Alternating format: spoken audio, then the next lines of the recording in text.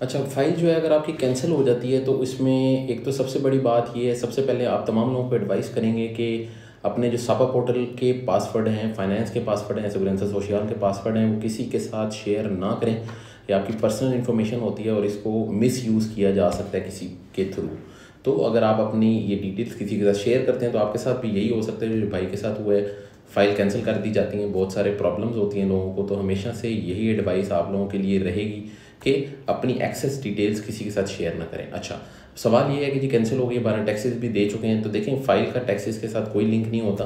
File एक separate चीज़ है टैक्सेस पे करना सेपरेट चीज़ है, ठीक है? इन दोनों को आप कंबाइन नहीं कर सकते। अब कैंसिल होने के बाद देखें, बहुत सारे ऐसे लोग हैं जिनके साथ ये प्रॉब्लम हुई है।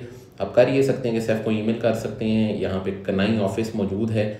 पुर्तगाल में इसके डिफरेंट सिटीज़ में इनके ऑफ़िस हैं।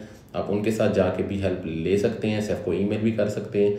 और कोई ऐसा इसका डिफाइंड प्रोसेस नहीं है कि कैंसिल होने की सूरत में क्या होता है, क्योंकि कैंसिल होने की सूरत में वहाँ पे लिखा होता है कि आप खुद इसके रिस्पॉन्सिबल हैं।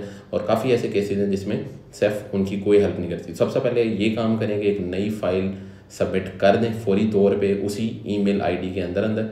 और इसके साथ साथ आप ये बाकी डिपार्टमेंट्स जो मैंने आपको बताए हैं वहाँ पे जाके आप इनसे बात करें और कोशिश करें कि वो आपकी फ़ाइल रिकवर कर दें। आ, लेकिन इसके चांसेस जो हैं वो काफ़ी ज़्यादा कम होते हैं बहुत ही कम केसेस हमने देखेंगे किसी की फ़ाइल रिकवर हुई है। मोस्टली लोगों को दोबारा से फ़ाइल को लॉक करना पड़ता है। तो लेटेस्ट न्यूज़ और अपडेट्स के लिए पुस्तकाल इमिग्रेशन न्यूज़ को फॉलो करते हैं